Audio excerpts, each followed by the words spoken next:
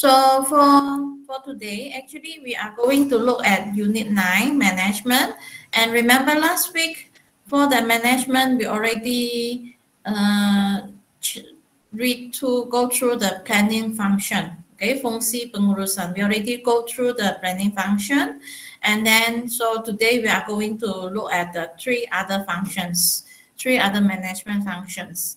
The organizing, leading, uh, or leadership and controlling. So we have three functions to look at. Okay, so um, all right. However, before I continue with the lecture today, one very important thing just to remind you all is you have your live selling next week. Huh? So for next week, for next week, you um you do do not have any lecture. Okay, the other class, no lecture but you have to do your um, live selling okay? Live selling. Still remember every um, every expo uh, we expect you to do live selling. So you have to do live selling. And then you have to first prepare a script what you want to say during the selling okay? So who who to do the live selling you you plan yourself okay? Whether whether you want all your members to to take part or you take turns or just you appoint one or two of your members to do the live selling. So it's up to you. You will decide how you want to do the live selling.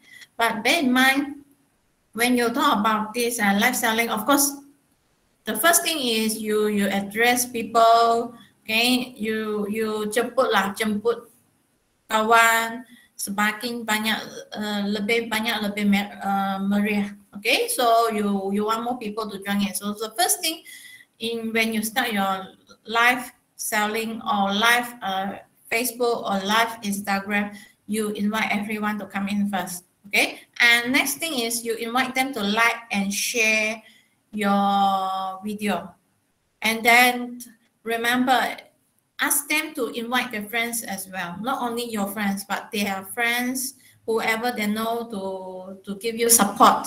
Okay, especially during your live selling. Biasanya kami minta live selling ini antara jam 11 hingga 1 between 1, 11 and 1 o'clock during your lecture time. Okay, semasa uh, lecture kamu lah during your lecture time. So you will um, you will do the promotion during this live selling. Okay, uh, promotion. What do you want to promote? First, of course, you promote your company. You uh, you tell people about your company. After that, you tell people about the uh, the who are the managers who are supporting your company, and after that, you explain about your product or services. Okay, if you still have a uh, promotion, you tell them what are the promotion that you prepare for them. Okay, for example, you have promotion for the first 10 people who buy after they read, uh, they watch your live, you will give some discount, for example. Then you encourage people to buy from you. So it's up to you how you want to do your promotion. Okay, promosi lah sebanyak-banyak yang boleh ya. So you make good use of the live promotion to you do your promotion. And as well as uh, next week, Monday, we have one opening ceremony. Okay, we have one opening. The opening is um, at uh, 10 o'clock, jam 10 pagi. Saya jemputlah semua pelajar. For those who do not have class, during 10 uh, from 10 o'clock until 11 you can you are invited to join our opening ceremony ya jangan lupa for the opening um, we have uh, our VC and our dekan who will give the speech and do the opening for us. Huh? Okay, so uh, beside that, remember we already have the website.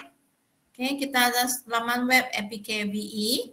So we want you to check your info. Kalau info tu tersilap ke ataupun um, uh, we we wrong wrongly put in, we don't know uh, sometimes because too many students when we put in the video and the, the uh, poster, we might make a mistake. So we want you to check whether your poster, your video, your details, everything in, in the web is accurate. Okay, tiada kesilapan. Nah, kalau ada, tolong bagi tahu.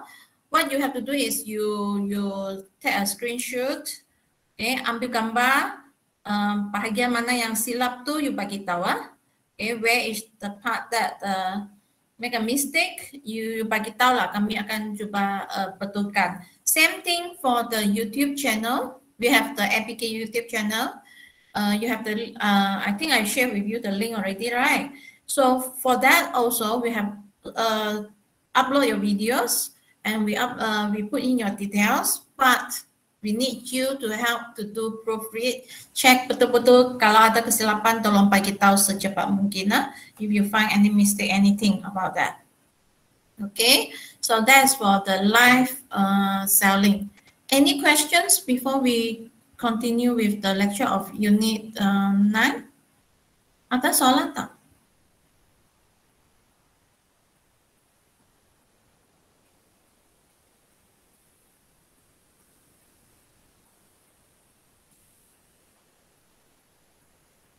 Macam tiada kan. Okay, saya mau saya mau tanya, uh, anyone of you have the experience of uh, becoming MC or not? Yang siapa ada pengalaman jadi MC, pengacara majlis? Adakah orang biasa di antara kamu yang biasa buat? You have the experience to be MC uh, during apa-apa upacara. Anyone? Adakah siapa yang ada pengalaman? Uh, MC in your own school activities, in your own uh, whatever event.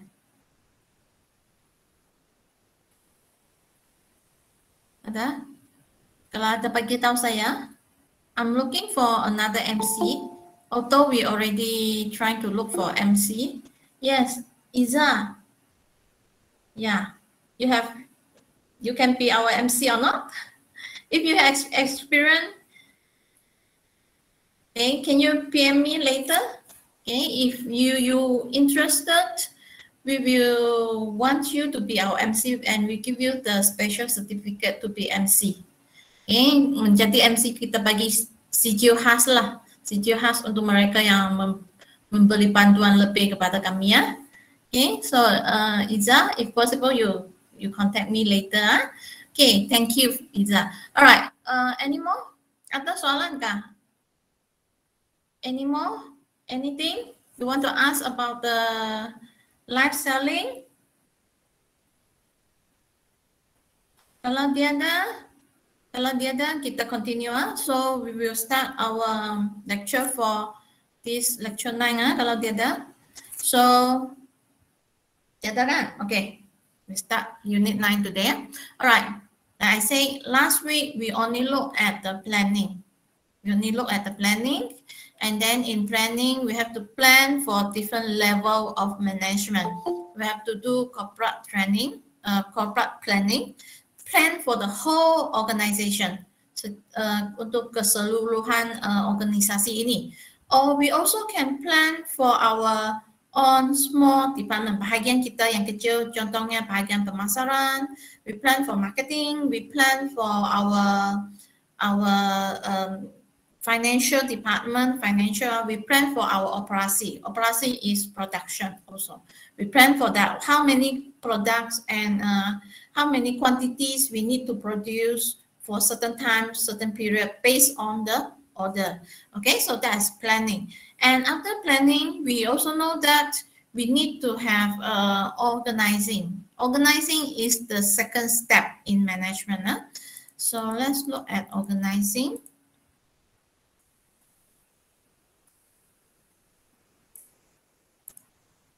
Okay, now we look at organizing. For organizing actually is to organize the resources. Menyusun, menyusun. Uh, organizing is to organize the resources. Menyusun sumber-sumber. So organizing is to determine the form of the internal structure. Internal means struktur dalaman. Okay, internal structure. So the manager also has to provide or has to determine what are the jobs to be done. Okay, apakah kerja yang perlu dilaksanakan? So the first step is we determine what are the tasks that needed to be done. Okay, apa yang perlu dilaksanakan? What are the tasks? What are the uh, work that we need to do And then the next thing is we start to determine who should do and who can do that. And how many uh, tasks can be done by a person. And then how many people we need. Then how are we going to manage the people and coordinate it? For example, now you already have your orders. Okay, you have orders already. You have uh, um, maybe you have some product that you, you want to sell already. So now you need to arrange the tasks. So who is going to do the production? Who is going to do the packaging? Who is going to do the delivery? So you can divide to three different persons doing three different things.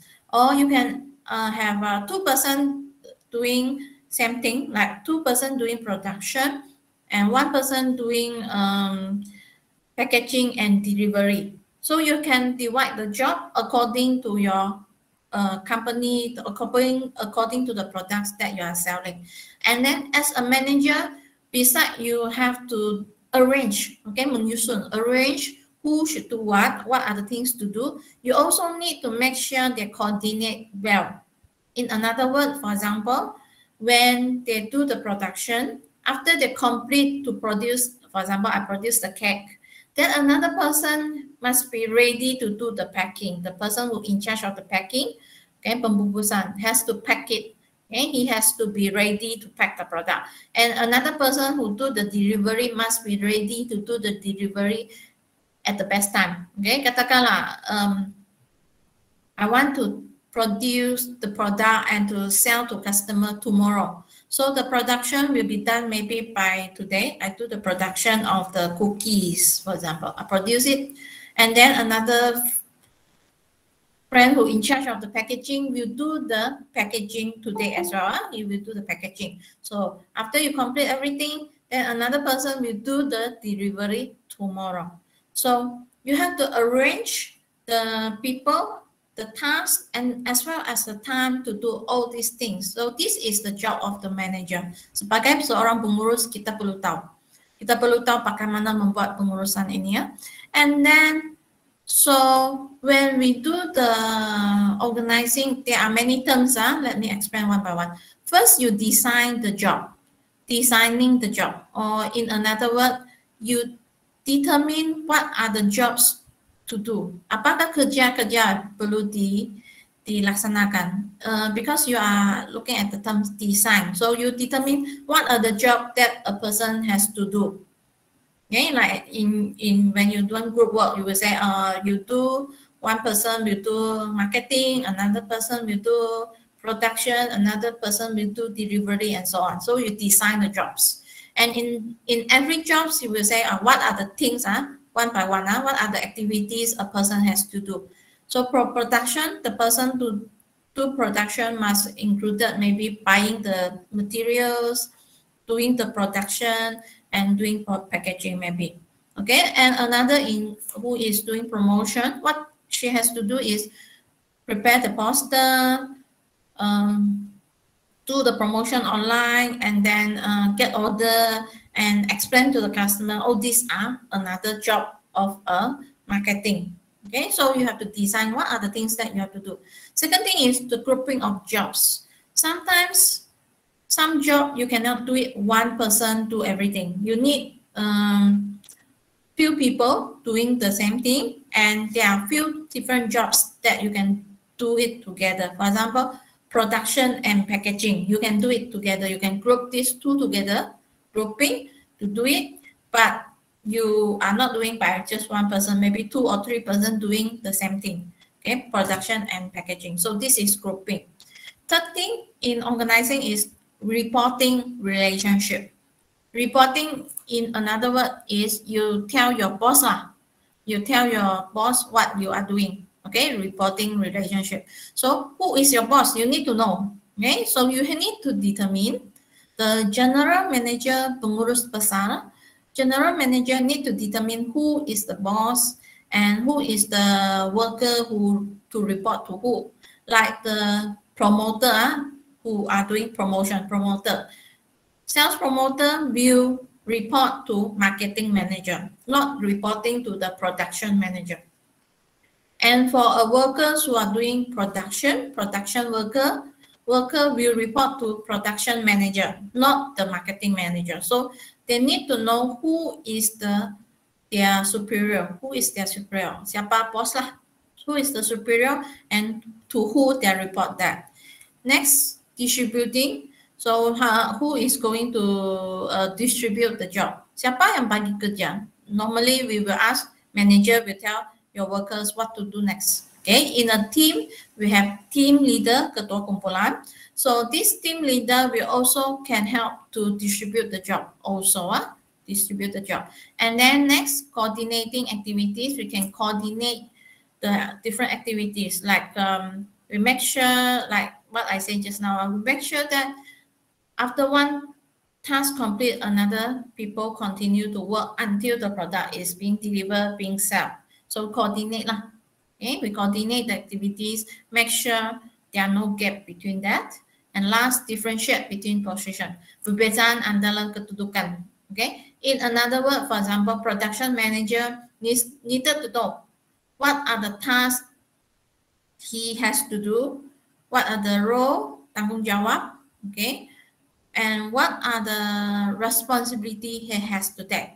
Okay, so that is the difference. Of course, if the workers make a wrong product, ah, actually the manager has production manager also has to take responsibility. Okay, tanggung jawab mengeluarkan produk yang salah di atas pengurus juga. Not only the the the manager cannot say, oh my worker did a wrong job, my worker did that. Oh, cannot. Must be the manager who has to responsible also, not the worker, but the manager has to responsible. Next, eh, sorry. Next, we go back to job design, like I said just now. This is one of the most important part in uh, management, okay? Because we need to organize the task. Organize the task means apakah kerja-kerja activity? What are the work and activities that we want to do? The duty and responsibility of a unit, okay? Unit of people. Unit here, it can be a team lah, satu pasukan. Okay, a team like uh, who do production, production team. A team who do marketing, marketing team, or marketing department or marketing unit. Okay, and then match the characteristics with certain jobs. So you must make sure that people who do that job, they know what to do. Okay, for example, people who do the production, like uh, we go back to the example of cookies. People who do the production of cookies, at least he know how to bake the cookies Okay, he know how to prepare cookies. And another person who who prepare things like uh, who prepare things like uh, for example um, designing products huh? for example something that design must know how to do the designing using a computer software like canva okay so if different person must have different characteristics. You cannot say, oh, uh, I tell you to do this, you must do this. No, you must know what are the characteristics, what are the capability and skills, especially skills of a workers before of worker before we decide what he or she can do. Okay, so characteristic and job performance, satisfaction, physical and mental health. In another word, sorry, long spelling, um, we have to make sure that they are happy with the job, they are performing well, they are happy and they are performing well for the job, and they are healthy, not because of doing this job they feel very sick. And sometimes the job is too tough, make them feel very sick. Even mental health, they feel very depressed uh, very unhappy with the job, that is uh, not very good. Okay, we have to ensure that our workers are happy with the job. So when we design the job, remember we have job enlargement. So job enlargement means that we're trying to expand the different type of tasks that a person is doing. So for example, uh, when you look at uh, uh, uh when you go to a bank, for example, Okay, so the security guard uh, their main job should be taking care of the safety nerves in the bank. Okay, make sure it's safe for you to go to the bank and to bank in the money or to take the cash from the bank account. Okay, the job of the security guard, the guard in the bank. But at the same time, you will notice uh, every time you go to the bank, uh, when you need help, uh, you can ask them, okay, uh, mana nombor mau tekan? They will inform you, right? They will say, ah, tekan satu, tekan dua. So that is not their main job. Bukan kerja mereka tahu. Okay, not their main job, but they are given extra job. So the the process of giving them extra job is known as job enlargement. Diberikan lebih banyak kerja untuk dilaksanakan. Okay, more job to do. Okay, why you want to give them more job to do? Maybe because it's too boring lah. Just imagine that if you sit down in the bank, okay, you just look at the people coming in, coming out, uh, taking care of the security. Yeah, actually not that many things to do. Okay, not man, that many things to do is quite boring. So if you allow them to have different tasks, doing a little bit of different thing, uh, you expand the job. Membesarkan. Okay, give them more things to do then they will not that boring, feel not that boring, and they might be more happy. Lah. Not boring, that means they are more happy with the job. Okay, so this is job enlargement. Okay, how about job enrichment? Job enrichment, similar, is to increase, most of the time, increase the number of tasks, but you increase the depth. Maksudnya, you let them has more responsibility. Tanggung jawab, ah? More responsibility. For example, a worker working in store, his job maybe is to arrange the things in in the store, put the things in, take the things out uh, every day. Uh, put thing in, take out, thing, put in, take out, put in, take out, and you can imagine that is um, doing repeating the same thing, and he already very familiar with the job. He knows very well. Oh, I this product come in, I put in here, and uh, next when people take want me to take the things, I will take from another place to check out. So he knows how to put things, arrange the things, doing very good job. Okay, but after sometimes you notice that uh, he is actually very good. Okay, he is very responsible, sangat bertanggung jawab. Orang yang sangat uh, pekerja yang sangat baik We will say very good worker, can do a lot of job. Then you give him more responsibility. Now Okay, before that, he is just in charge of um, put the things in, take the things out. Now you want him to give him more responsibility. In another word, you give him some uh, promotion. Okay, um, promotion of job. So dia tanggung jawab. In another word, allow them to to improve lah in their job. Right, improve their job, promotion, and then now he is giving more responsibility. Tanggung jawab. How? By giving him um, maybe before that he is not given the key to to open the store. Now he is given the key to open the store. Now he is being given the responsibility to take care of other workers to train other workers. Okay lebih tanggung jawab so this is also part of job enrichment. So when you allow a person to improve to promote in his job actually this is job enrichment and another thing that you always can do in a big company, uh, in a big company or in a big organization like UMS is job rotation. So you can see that some worker, okay, for example, uh, admin staff working in your department uh, uh, this year, and next year they are being rotated to another department. Okay, so from this department, they're being rotated into another department, keep on changing and changing. So the rotation uh, allowed them to go to different department, but they are doing almost the same thing. For example, uh, in a different department, different faculty, they're also doing the same uh, same thing. Okay, they are not like uh, from admin become a lecturer. No, they're still doing the admin, administration job, admin job, pentadbiran, but they are doing it in different departments. So this is what we call job rotation. Same thing with uh, job enlargement, same thing with job enlargement. This is to errakan, okay, to avoid Okay, to avoid, mengelakkan mereka merasa sangat bosan.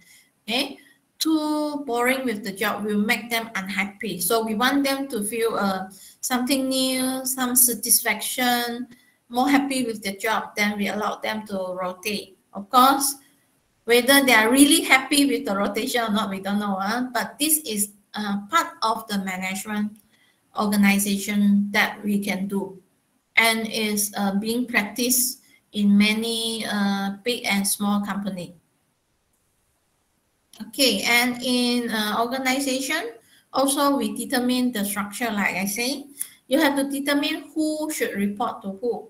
Okay, and the most common, paling biasa kita lihat ialah struktur ini. We call it functional structure, in which you have general manager, pengurus besar atau pengarah, and then after that you have financial department, jabatan, uh, uh, financial department, information department, and uh, human resource department. You also can have marketing.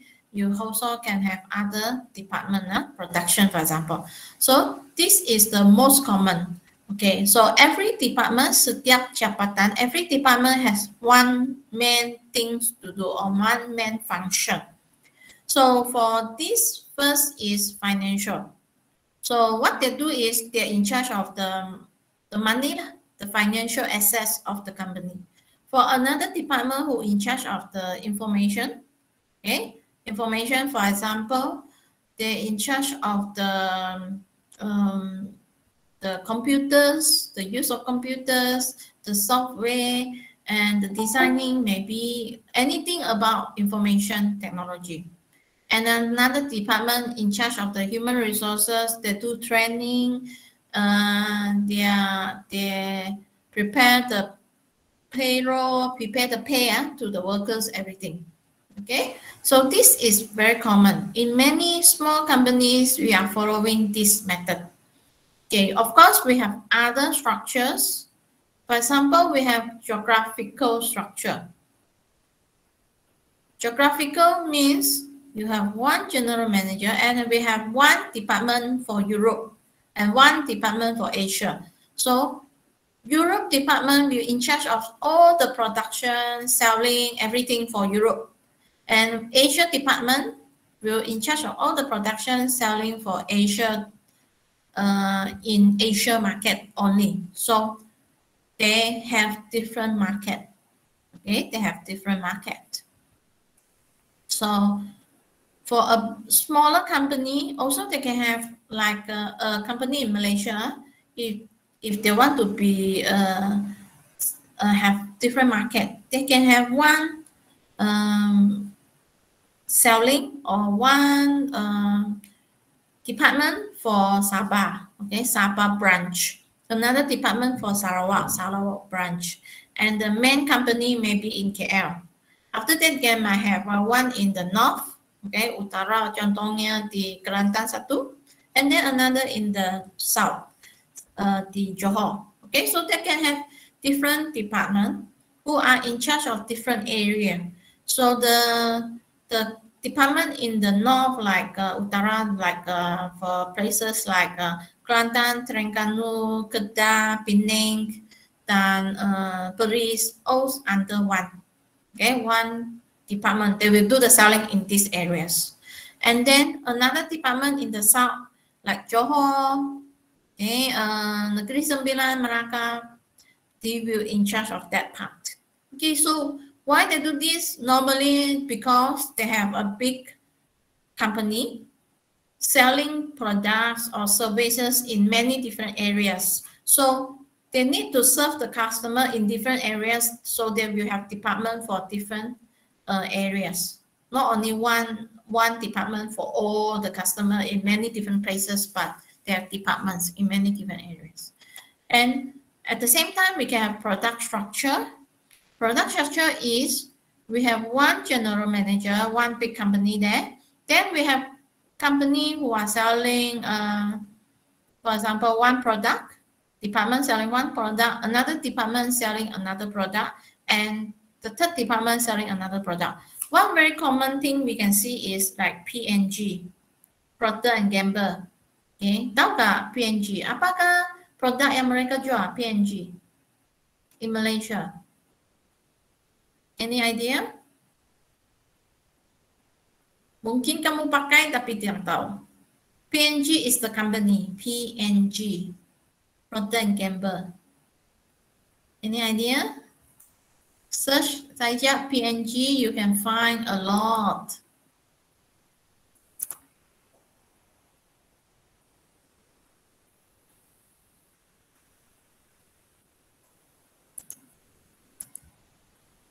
Apakah? Siapa tahu?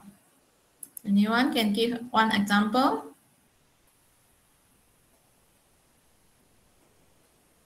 Procter and Gamble.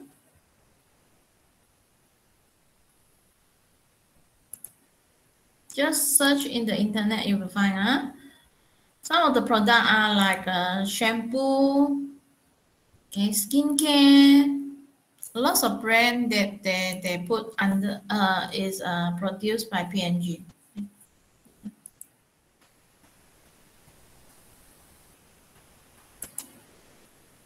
Anyone? No answer?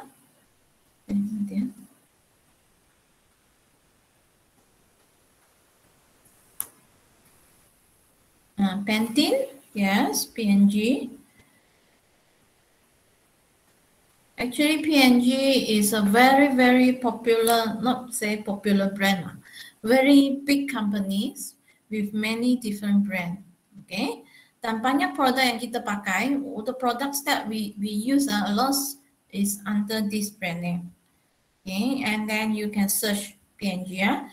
For example, they have the, let me see, let me search in Malaysia.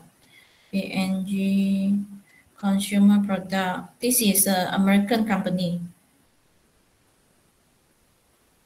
Is it? You just search for PNG Malaysia. Then Boleh lah you nampak ah. Uh, for example, head and shoulder, if I'm not mistaken, head and shoulder, Pantene, okay, and then you can have many other products. Okay, you just search, huh? Okay, so let's look at that. For example, head and shoulder, they will put it under one department satu jabatan, uh, satu uh, one department. And then after that, they have another product like Pantene. They also put it under another product. And then they have uh, maybe they have skincare. Ah, they have skincare. Uh, Ore, Ore is another product. Okay, skincare. What else? Uh, um, we also have like um, um, cleaning, cleaning like uh, Dynamo. Yes, Dynamo, another product under them also Dynamo. Okay, and then we have other products. Huh? We still have other many other brands. So they have different product. So all the different product they carry different brand name and they are for different purposes. Like shampoo is different from skincare already. It's different from the cleaning like Dynamo. So they cannot put it under one manager. So they have different manager for different products. Okay, so this is product structure. And after that, we also can have matrix structure. Matrix structure is, sorry, matrix structure is we combine the, the functional structure with another uh, management team, okay, management team. For example, we have a marketing, we have production here. So you can see they have one production department, marketing department here, production manager, marketing manager here. After that, they have workers. Of course, we have workers. For example, marketing worker, production worker. But these workers also being uh, put in another team. Okay, satu pasukan pengurusan yang berbeza. They are being put in another team. For example, um, you have uh, one team, team A. Okay, team A. What's the purpose of team A? Team A is maybe is to to, to team A. Team A is maybe to produce a new product or a new uh, kind of service. For example, they want to design a new kind of product for skincare, ah, new type of product. So they need marketing workers, they need production workers to sit down together to think of the a new product. So then we build up a team with marketing, with one manager in this team, and then the workers at the same time report to the production manager and the team manager. This is very common in also big company, big company in which you can see like uh, some staff, they are under production manager. Also, they have to report to another manager, okay, because of, uh, of um, doing another job. So this is what we call matrix structure. In very big organization like UMS, okay, what functions are we under or what structures are we using? Struktur apa contohnya UMS? Anybody have idea? Or UMS?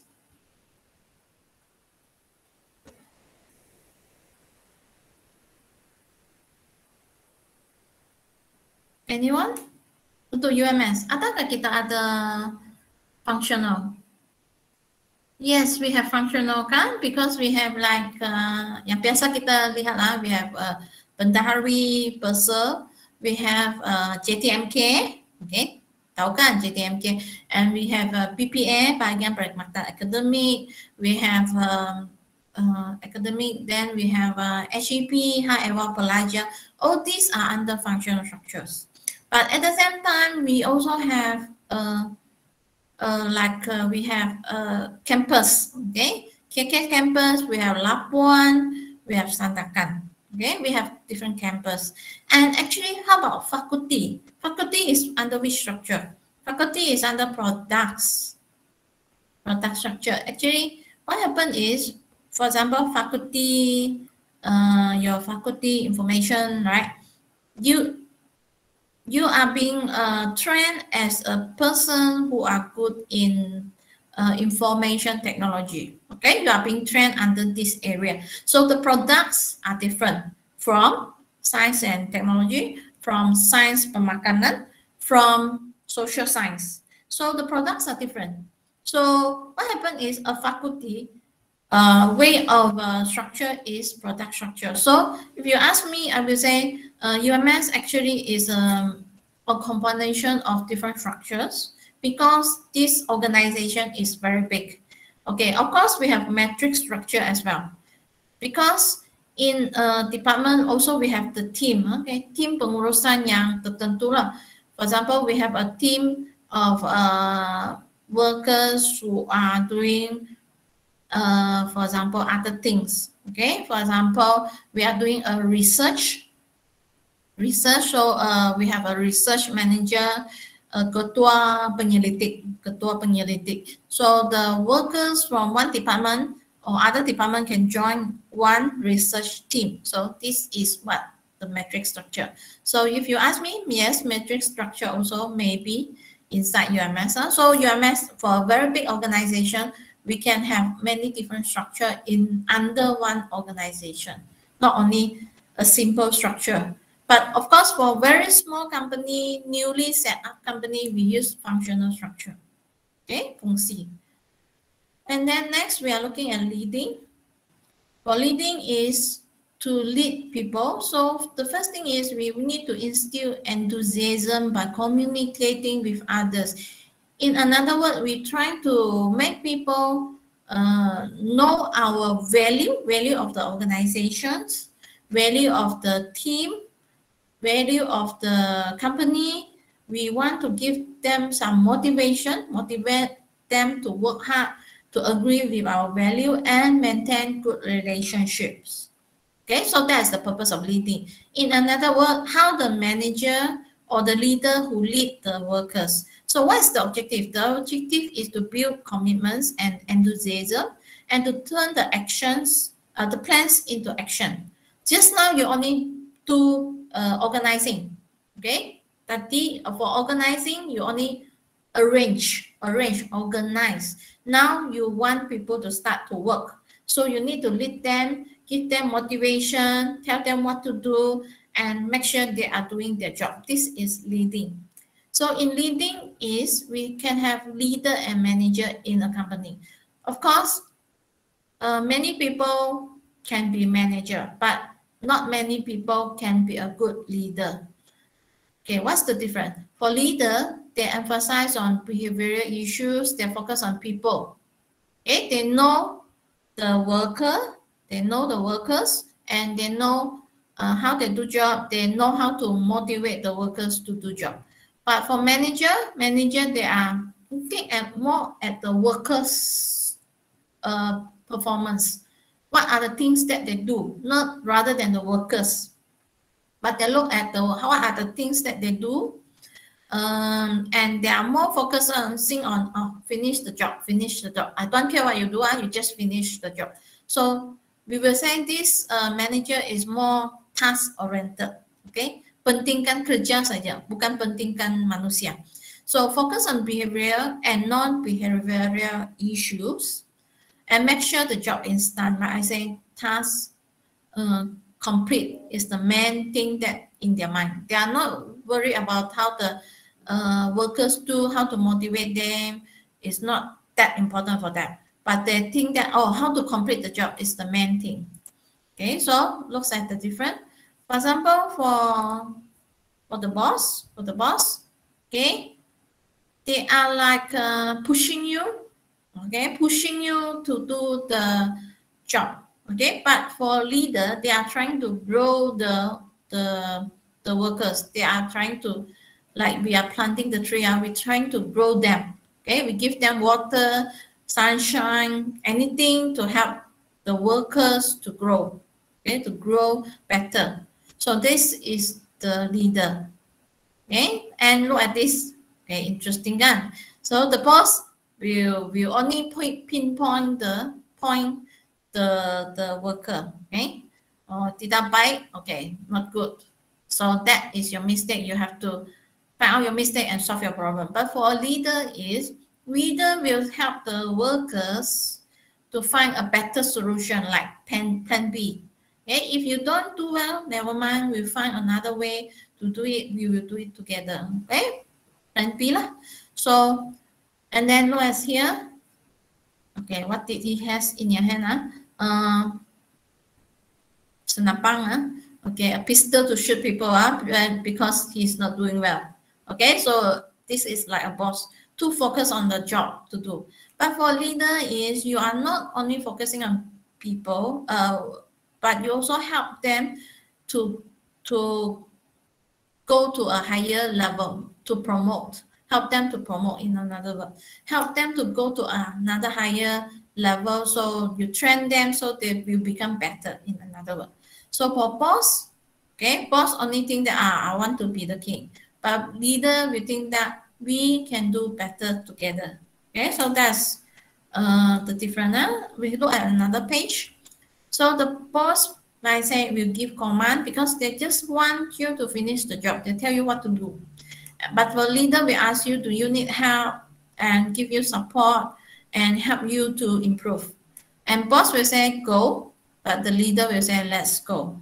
So you can see many boss in the organization, but a good, good leader is quite hard to find and a good leader who know how to promote, how to encourage people to work hard is even a bit hard to find. Huh? So what we want is we hope that you will be the leader. Okay, not the boss, but the leader. Okay, so we have uh, many different leadership style. The first one is autocratic. Autocratic means the boss will say, do this and do that. Okay, no objection. Huh? Mesti buat. Buat ini, buat ini, buat ini. You, you cannot say, oh no, I don't want to do this uh, maybe I think this is uh, not, uh, I can't do this, okay? But for, for laissez-faire is totally different. Laissez-faire will say, the boss or the leader will say, okay, um, we have to complete this. You can determine what you want to do, okay? so the workers can say, uh, I want to do this way. Another worker will say, I want to do another way. So you do it uh, using your own way, okay, as you see fit. Okay, the workers will say, oh, I want to do this way, or you follow your way. So they give freedom, free, uh, free to the workers to do things.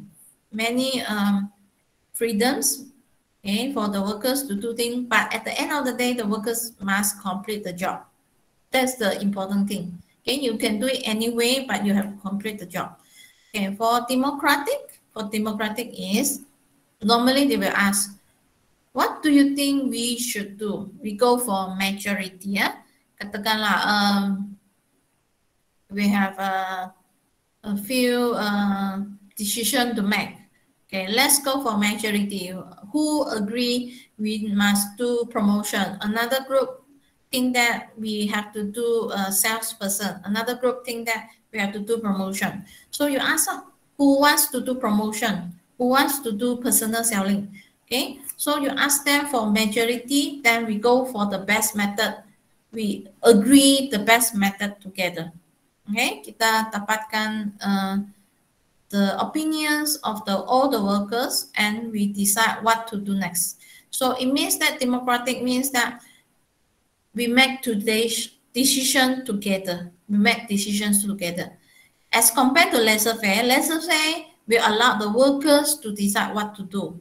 Okay, workers will say what to do. But for paternalistic, it's slightly different. You can see a paternalistic is like the father or the mother in the organization. They will take care of the workers. They will help the workers to a lot of things. Sometimes giving a little bit of instruction, just like your father, like your father will take care of you, give you some instruction. But the main purpose actually is to take care of the workers. Okay, so we have many different leadership styles. So which one is more suitable depends. Depends. Huh? For example, autocratic, more suitable for use in army and police until today is they are using this method, autocratic. Okay, in the army setting, in the police, they will say, okay, uh, arahan and the, the soldier, the police under the team, in the team will say yes. Okay, give instruction and they must say yes and they must do it. They cannot say, no, I don't want to do this. I want to do it another way. No. Okay. So this is uh, suitable for certain organization. But for laissez-faire, laissez-faire is to give freedom to all the workers. So this is suitable if the workers have experience and know what to do and they are uh, they have the knowledge Okay, they have the knowledge to do things. For example, in organization where the workers uh, are doing design, for example, uh, designing, for example, they design a new software, then they give the freedom for the worker who do the designing of the new software to design the software themselves. Okay, because the worker will know what is the best way to do, how to do it. So they give freedom for the worker who has experience and knowledge to do design on their own. Okay, but complete during certain time, like within one year or what. So this is laissez-faire. But for democratic, democratic is uh, very suitable if we want to work in a team. Then uh, we can like, uh, for example, when we want to do a certain uh, marketing, we decide how to do it together and we do the marketing together. Okay, so this is democratic. For paternalistic is if the workers are very young, no experience, and the workers uh, need a guide, or, or the workers even need uh, help from the manager, then paternalistic is more suitable. So more suitable for the young, young uh, workers, no experience, or workers that who need um, uh, guide, who need people to care of them. All right, so what leadership styles depends on the workers, but sometimes also depends on the manager. Some manager, um, yeah, if you look at the just now, the boss, okay, some manager, they are more like a boss. So they are more like a autocratic, okay? But some manager, they are like, they are more like a leader. So as a leader, they are more democratic or even laissez-faire, democratic and laissez-faire, they will take care of the workers. Okay, so the characteristic of the manager also determine what style they want to take. Next, we talk about how to motivate our staff. Now we want our staff to work hard for us. How to motivate them? So first is we give them financial factors. For example, we give them bonus, sales commission, profit sharing, good incentives, and other, okay, many other methods. So financial factor means you give money lah, any other type, any type of financial. For example, sometimes after they sell one unit, you give them commission of 5%. So this is financial factors. Okay, or you work together. After that, your team will get a profit and then you share the profit. This is profit sharing. Profit sharing also will motivate the staff to work harder. Okay, work harder.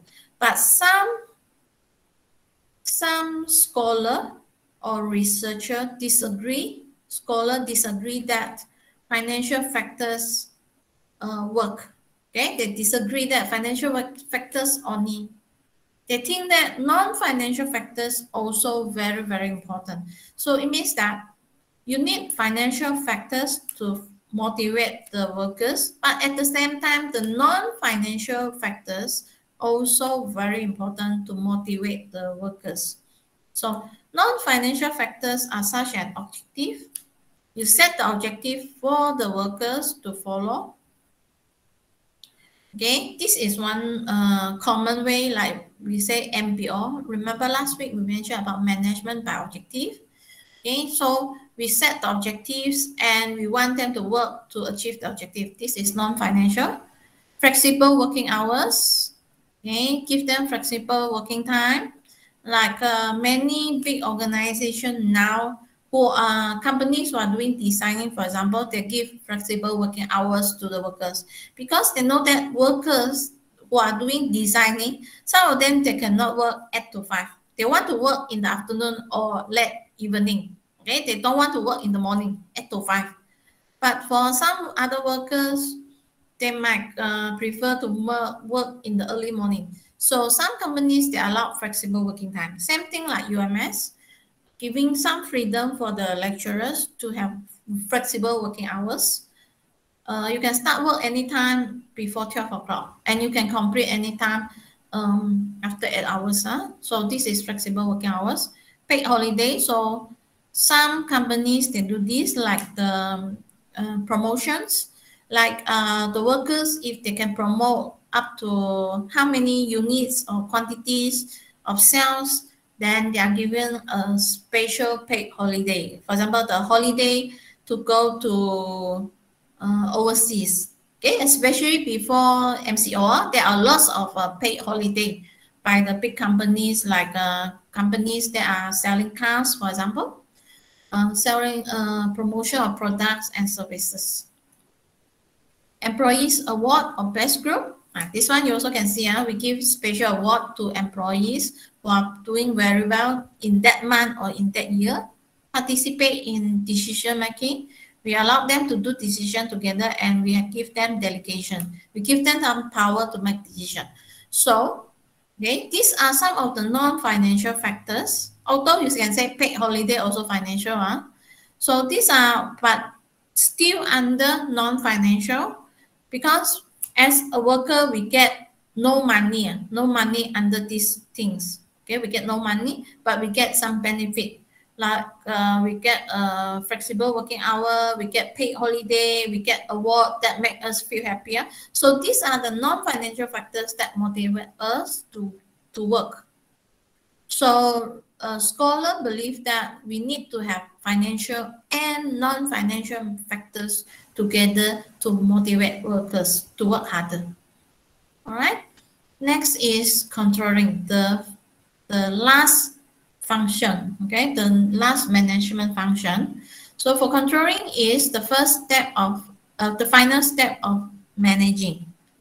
Because you already plan, you already organize, you already lead them, make sure that they work the job, um, and make sure that they are doing the activities.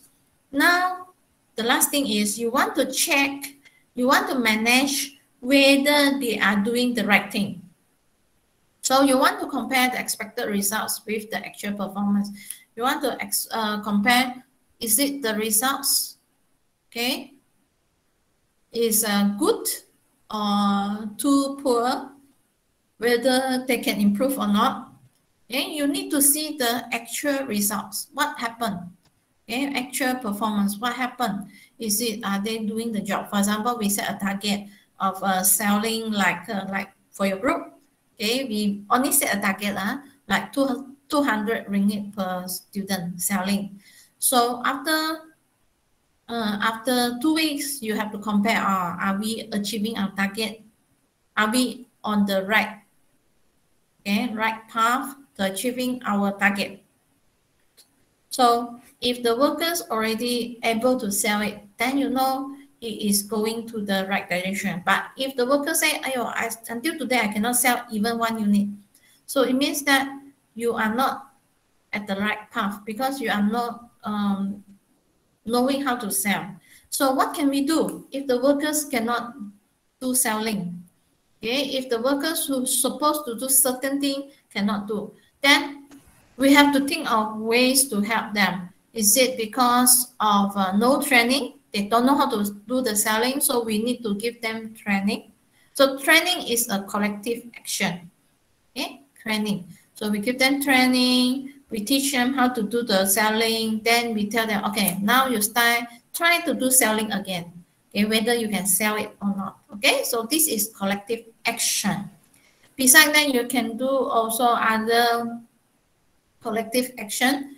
For example, you do quality control. For example, a certain product uh, become not sellable not because of the people who cannot sell, but because of the product is not good enough. The quality of the product is too poor. So people doesn't like it. So you need to improve the quality of product or quality of service. Okay, next is sometimes you compare your cost. Sometimes you already have your budget. I say you you must have a budget, right? You need to know how much uh, is the cost of selling a product. Then your price must be higher than the cost. So you have to make sure that the actual cost is not too high as compared to your budget. If your budget, your selling of one drink is one ringgit, but your cost is one ringgit 10 cent, maybe slightly higher. Okay lah. Actual cost might be slightly higher. You still can accept because your selling price is one ringgit 50 cent. You still have the profit. But if if your budget is one ringgit, but your actual cost is one ringgit 40 cent and you are selling at one ringgit 50 cent, then actually your cost, your actual cost is very, very high. Okay, very, very high. So it will make you have no profit. Okay, maybe you have no profit. So what can you do if your budget uh, is low, but your actual cost is high? So you have to think, oh, what can I do? What can I do to reduce my cost. So this is what we call controlling. Okay, we have to think of ways to reduce our cost, and then uh, this will help us to cut down our potential loss. Okay, potential loss. Okay, just to share you one experience from a group last uh, previous summer. So this group is selling like a gift box, gift box. So they they have ordered many gift box, the box itself, uh, online, uh, they order many box itself online, but at the end, they cannot completely sell all the box out, okay? They still have many box, and if they keep the box, they will make a loss, okay? Rugi lah kalau kotak-kotak saja. The box uh, make it a loss. So what they do is they sell out all the box to uh, their friends, or, and they also try to sell online. The box itself, not the gift, huh? the box itself, because they notice that the product that they are selling, uh, trying to sell is not sellable. They still have many box left after the project. So they want to cut down the cost, they sell out all the box. After they sell out all the boxes, all the boxes, they find out that actually they can cover the loss. And they can cover all the loss. So at least they are not making loss. So we have to think of any other plan or thing to cover the cost, okay, to cover the, the extra cost that we might be facing. Okay, so that is one of the things that you can think of if you find that your actual cost is very high. So think of how to reduce the cost, how to uh, increase my profit. Okay, so what are the importance of controlling is, first you can improve motivation. So if you find out your workers are doing very well, you know that, oh, this worker is doing very well. So you give some um, appreciation, you praise their work, you give them like a best worker reward. After controlling, only you know uh, they are doing very well. So you give them award, you give them a paid holiday. All these will improve their motivation. Second is the good thing of control is you ensure that all the order and the discipline uh, in the organization. In another word, uh, you make sure that everything is doing the right thing. Okay, the right thing. Facilitate coordination in action. So coordination is like different department, different group, and doing the job without uh, wasting time. For example, after production, after you produce cookies, you must do packaging. If you don't do packaging, the cookie, cookies will, will um, taste not as good. After, if you just let it air, so there will be a problem, right? So you have to do packaging. After certain time, after production of cookies, you have to do packaging. After packaging, then another team who do delivery must deliver as soon as possible to make sure that you deliver the fresh cookie to your customers, not the cookies that you already keep for one week. So all these you need coordination. Coordination in another word is you want them to work as a team and uh, everyone know what to do next and the person who are doing the next job, next job who know when to do it. Okay, so that there are no gap lah. You don't need to wait for people one week to do the delivery. Okay, customers are waiting. Customers are waiting. So they don't want to wait for one week, but the deliver is not coming. So that's the problem. Okay, you need to coordinate activities, improve the performance. Okay, improve the performance, minimize the errors. Okay, so similar if you reduce the, the uh, errors in the production, actually you improve the, the achievement, the performance, achieve the goal. Like I said the, at the very beginning, in the planning, we need to set up our organizational goal, the objective of the organization. We judge the accuracy of standards, product standard, for example, or service standard. So what is standard? Standard actually is a um, uh, a level of quality that we think good enough for our product or service. For example, for cookies, we want what kind of standard of our cookies. Okay, for example, service, customer service, what kind of standard of service that we want for our uh, workers? Okay, what kind of service that they can provide? And we need efficient. So we don't want to waste the resources, to waste money, to waste manpower, to waiting for something. For example, when we do cookies, right, we need to do production. So, but we want to do production, but the problem is the raw material, like for example, butters out of stock. You don't have butter. You need to wait for your friends to buy butter, then only you can make the cookies. So it's a waiting, wasting of time if you need to wait for the raw materials to come, only you can do things. So efficiency is an issue. If you can increase the efficiency, you can increase the sales and improve the performance of the company. Okay, this is everything is under uh, controlling part. Okay, how to control? How control? We have what you call traditional and modern techniques. Even though you say traditional, Okay, it's not traditional that is up to thousand year lah, but uh, that is more um, people practice quite some time from uh, maybe last century. And modern techniques doesn't mean that it's only start to use this year. But modern techniques already, we use it for many years also, uh, modern techniques. So what do you mean by traditional? Traditional is like, for example, we observe the people, we see how they do it, okay So if you see that they make a mistake, you tell them, oh, you made a mistake, you have to do this, this, this, this, this, not this way. Okay, another way. So that's observe. We look at statistic, we look at the report lah. How many quantity produced in a day. Okay, and we do break-even analysis. Do you remember what's the purpose? Break-even analysis is to find out the minimum quantity you have to sell to avoid loss. Okay, break-even analysis. And budgetary control, control of the budget. Okay, control using budget, like I say, you compare the actual cost with the real cost. Uh, sorry, actual cost with the budget cost. Okay, if your actual cost is very, very high, then higher than the budget cost, then it might be a problem. So you have to control your actual cost. For modern techniques, modern techniques are the techniques that we already practicing and it's quite common that we are using now. So one is responsibility accounting. So meaning that everybody has to responsible for what they are doing. Okay, responsible for what you are doing.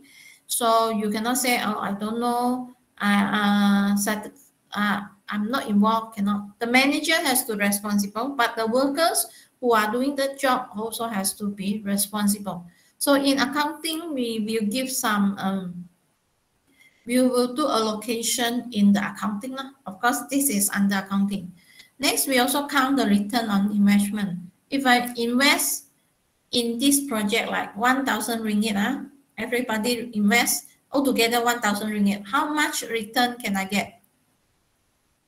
okay, return on the uh, investment. So can I get return more than uh, 5% or 10%? Ratio analysis is we analyze the, the allocation of the resources. Audit, uh, you always say, you, you always hear the word audit. Audit is like you check, you check whether the team uh, or the people are doing the right thing, okay, management audit. So for example, like UMS, you uh, you can see we can have internal audit. So people who inside the company from other department, they do audit of another department. They want to check whether they are doing it right or not. But at the same time, we can have external audit. External audit is we have people who are very experienced from outside UMS to do the audit for UMS, just to make sure that we are providing the good services to our customers. Are we doing it the right way? Okay, so this is audit, a checking process for us to do better. We call it uh, continuous improvement. And next, program evaluation and review technique. So in another word is we plan, uh, okay, uh, how many time to complete uh, one task? For example, how many times I need to to do productions of cookie, maybe one hour. After one hour, maybe I need uh, half an hour for the cookies to go down. After that, uh, 10 minutes to do packaging. After that, uh, how many time for delivery? Maybe one hour maximum for delivery to the customers. So I need to plan one hour plus another 30 minutes plus 10 minutes for packaging plus one hour for delivery. Okay, so this is the time to complete the task. So from uh, from producing until delivery maybe is um, two hour and um, 10, uh, 40 minutes. So I know, okay, two hour and 40 minutes from production until complete delivery. So this is the time to do things. Of course, this is just planning. We just plan how much time we need to do all these things. Okay, to complete the task of the project. Cost per month okay, is referring to the advertising cost. In another word, we, we look at what is the cost for every 1,000 uh, experience or 1,000 view of the advertising. Okay, cost per mil normally is cost per every 1,000 uh, viewing of advertising. So if you are using Facebook apps or Instagram apps, they have something like this. Huh? They will say, oh, the cost of advertising is uh, say 20 cent. Okay, 20 cent. So the cost of advertising is one ringgit. So 20 cents means meaning that you for your this particular advertising, you can get to many people at a very low cost, 20 cent gun. So every one person, you only pay for 20 cent so that they already can see your advertising. But if one ringgit means that you spend one ringgit, then only you get one person to see your advertising. And next is management information system. Okay, you manage the information you have you have in your company. All right, we will look at that later. All right, so for levels of control, similar to what you see in the planning. In planning, we have a strategic goals or plans. We have tactical goals and plans, tactical plans. We have operational goals and operational plans. So we also have strategic control, tactical control, and operational control. Okay, strategic control is you control the whole company. Okay, you control this whole organization, the whole business doing the same thing for the same purpose. That is strategic control. For tactical control is you just control your own small department, jabatan, uh, department. So I only control my marketing department. I make sure my marketing is doing the thing. So who is doing the technical control is the marketing manager. Okay, marketing manager do the technical control, control his own marketing department only. And at the same time, the production manager who do control of the production in his own department only. So you can have many different types of tactical control in the company because marketing control is different from production control. And last will be operational plan or and we will have operational control. So you control the small activities. For example, you control uh, like promotion this week. What should we do? Uh? What promotion we should do? Or we should come out with one poster. We should promote using poster. And next week we will do live promotion, live uh, selling using uh, Facebook and Instagram.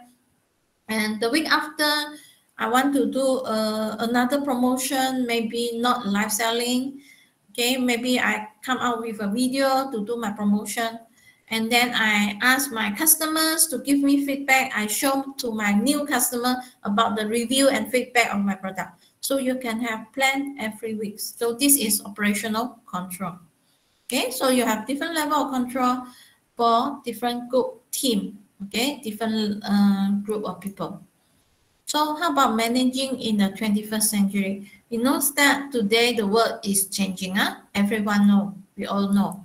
And remember, these are the things that we are facing today. Globalization. Okay. This is uh, something that happened today. Globalization. And it's like the whole world is just one Okay, the whole world is just one. So you can easily buy product from China in India you are not only buying product from your own country, but you can buy products from many countries. And uh, for today, the product sell in the China might be exactly the same as the product sell in Malaysia. If, for example, Apple come out with their new handphone, they will say, oh, we, uh, this product is to for sale in the whole world, not for sale in America only, or for sales in the uh, the Western uh, Europe only, but we are open this for sale in the whole world. So this is what happened. So globalization also affect you as a, a student and as a workers next time.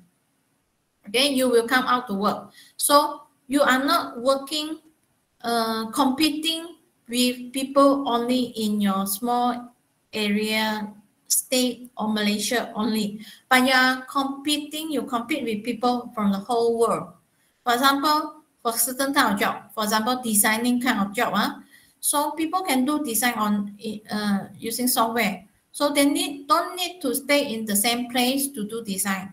So what happened is one company who are doing design, they can have one worker working in India, another worker working in Japan, and another worker working in US. They can have this in one company already. Okay, because of globalization, you are competing with many people from uh, many countries. Same thing, uh, certain type of jobs, like uh, they are off, they are doing the job for you, but they are not in uh, with you in the same place. They are in different places. So they are providing services to many different countries uh, in the world.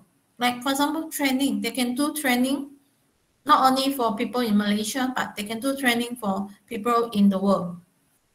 Okay, how about technology? Then you know, technology is now changing so fast. Like uh, we are going to change from 3G to 4G, the fourth generation of uh, um, technology and information technology. We are changing from 3G to 4G.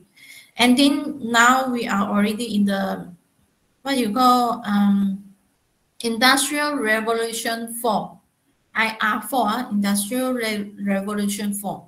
So what is under this IR4? Under the IR4 actually is the smart technology.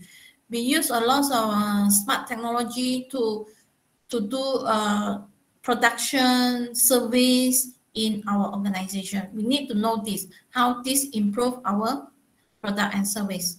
And next, we are focusing on the CSR or sustainability issue. So we want our planet Earth to sustain for longer. We don't want to to uh, pollute our environment. We don't want to hurt um, our animals. We want to protect our environment and protect our animals. So this is the responsibility. And at the same time, we also say about the responsibility to take care of the local community.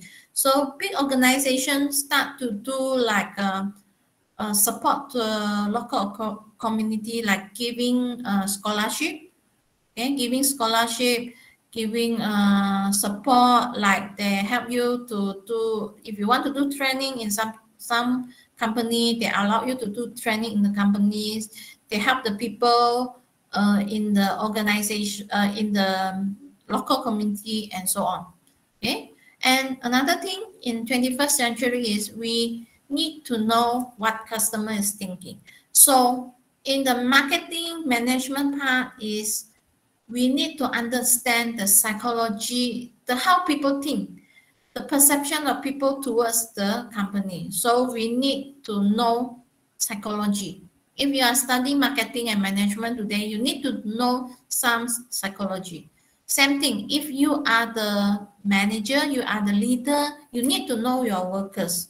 So you need to understand how they think, how they feel, um, what is uh, what are their perceptions. So you need understanding of psychology. Lah. I don't say you are expert, but you need to understand their feeling, their perception, um, what they want.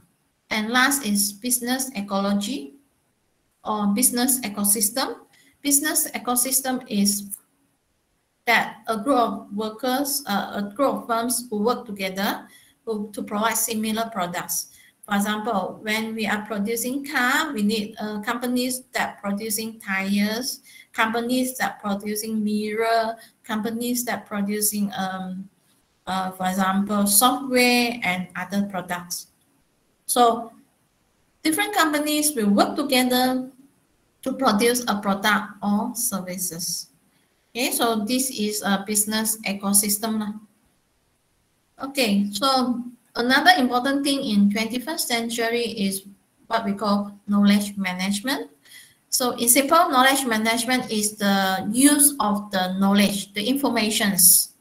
So how to use it or before you use it, you need to collect the information first. You need to analyze, okay? You want to check what information is good for the company and you need to make use of the information to do the design of the product, to improve your service and so on. So you need a knowledge management systems. So the whole system is the system to use information, knowledge information, to help the company to work to be very efficient and effective.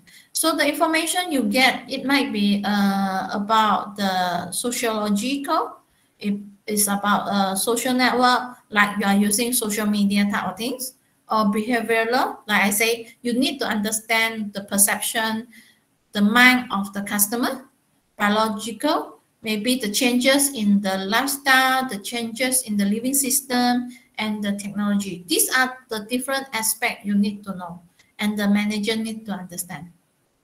Okay, as compared to the previous century, in the 21st century, we are customer orientated. That means that customer is the most important. In the last century, we think that oh, shareholders or the owner of the company, owner of the company, who are the shareholders, most important. Okay, they are the most important.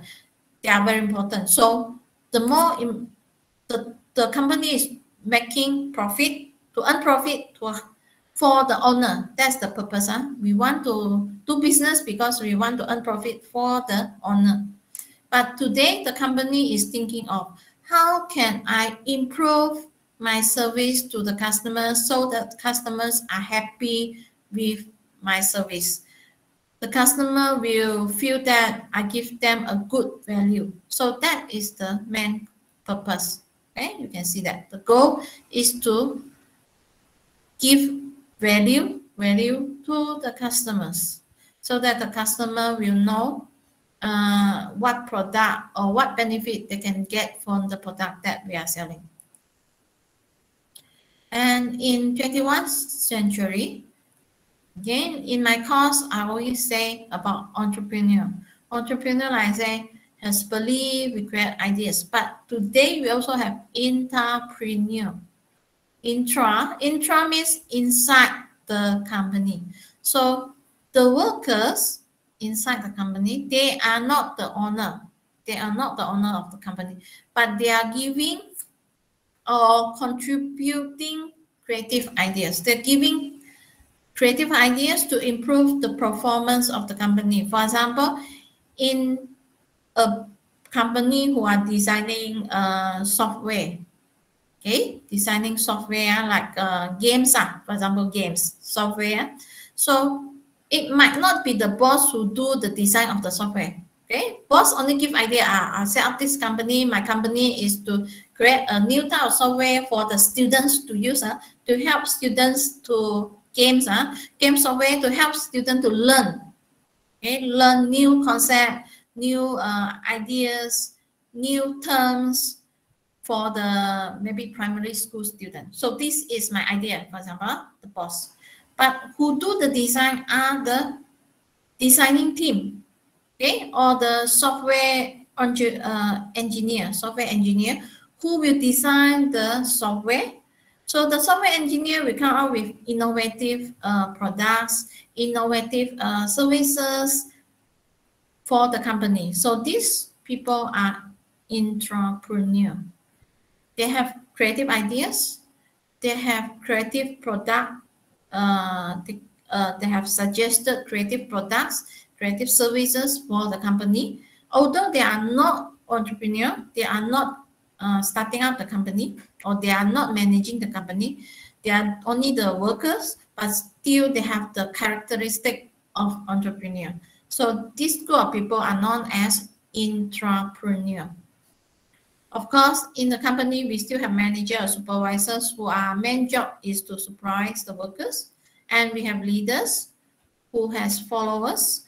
So we, when we look at this graph in simple, okay, you can get personal reward if you are entrepreneur, personal reward or recognition if you are entrepreneur or you are manager or supervisor because you work for the results. So you get personal award.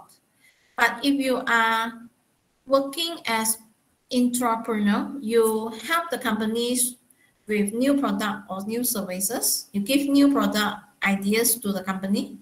So you might not get individual reward, but you get group reward or recognition. Same thing with leader. Leader works together with the followers. When they work together, they will get group reward or recognition. So this is group reward.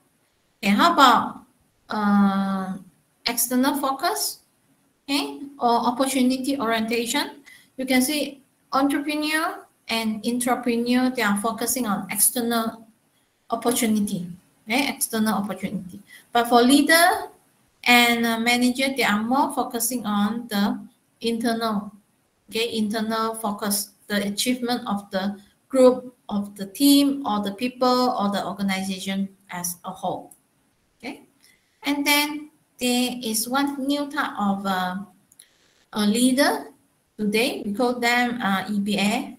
EBA are enterprise business analysts. They are very good experienced people normally, and they have good knowledge. So they work as advisor and strategists in the business. In another word, they are the people who tell the manager or what can we do. Okay, what are the strategy that we can do? So they are they can be adaptive, innovative. Yeah, they might be focusing on relationship manager. They know how to make good uh, relationship. They know how to manage a complex situation rather than just a project, but a very complex situation. And then they have a holistic thinking, so that they are not only focusing on thinking of uh, one small thing, but they can take many issue, many factors into consideration before making decision. And they are more like a leader also. Okay, they are more like a leader. They are like advisor to the manager. But at the same time, they might be the leader who lead the companies to become better. Okay, so the leader in the 21st century must be integrity. Yeah? You can see from the top. Can able to build culture, a good culture for the company, value the people. This is important. So means that you you recognize the importance of people. Okay, mementingkan pekerja, mementingkan uh, pengur, uh, orang-orang di bawah dan mementingkan uh, pelanggan. You also value the customers. Results oriented, okay, focus on uh, results build good relationships, able to build good relationship, customer focus, and then chief storytelling. Okay, storyteller. So meaning that you can able to tell story to the work workers. Also, you can make the customer trust you. Okay, sometimes uh, when we do promotion, yeah, we are telling story actually. When we do promotion, we tell story. So if we can um, tell a good story, then we can promote our product. So a good leader today can be a good storyteller. Also, they use a story to influence the workers to work very hard for them. Okay, so all right. What are the challenging that you are facing today? First, every company is a technology company today. In another word, every company you cannot say, oh, saya syarikat kecil saya tidak perlu teknologi. No. Even a kedai kopi pun sekarang menjual guna panda. Okay. Or Grab services. So they need to know how to use the Panda platform, how to use the social media platform. All this related to technology. You cannot say, oh, my company too small. Saya ada kelai kecil saja. Kelai kecil pun boleh guna uh, technology, use social media to promote your products and services. Convergent means that you are using many different platforms to help you to improve your product or services. To do promotion, to communicate with customers, to improve your services, and so on. And you must be prepared for changes, changes and complexity. Prepare for changes and situation become more and more complex. Okay, uh, more and more challenging, more and more problems, but you are we're able to face it. Internet, everything and everywhere. Yeah, yeah. Everything is internet. Everywhere you go, you will find internet. So you need to know how to make use of it. Technology advance. Technology changes so, so fast. If you don't change, you will be left behind. Software, uh, way you go, everything you do, now you can see software. Even uh, uh, Those days when you read, you read books, but now you read a soft copy, soft version of books. And then those days when you use a watch, just an ordinary. Now you use a watch with a software that you can uh, connect with your handphone. Okay, so you can uh, record your health condition with the software in your hand, uh, watch and so on. And competitive and risk. Competition risk is uh, quite high, like I say, globalization that we are facing. So we have face we are facing competition as well. All right, so that's all for this unit um, unit nine. Okay, like I say, uh, we I skip unit seven and eight because I think that unit nine is more important now, especially now you are planning already. You already plan your PMC report now it's time for you to organize and lead your workers, your staff lah, or your team members, the team members to do your, your project. Okay? And remember, you have to plan. You have to plan uh, what you want to do next. This week is already week eight. Week eight, huh? So you have to really make sure yourself get ready for the live selling next week. Okay, any questions you want to ask?